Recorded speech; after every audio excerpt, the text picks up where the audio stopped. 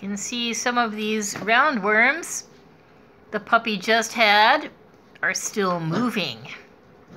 These are deadly. Right? They came out of this adorable little puppy.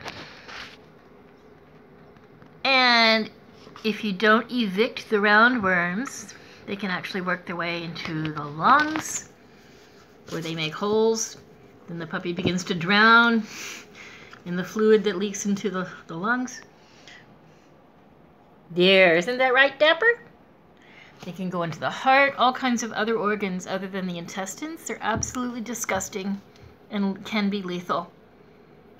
So the first wormer, worming, you really have to get all the, try to get all the roundworms out. That's job one.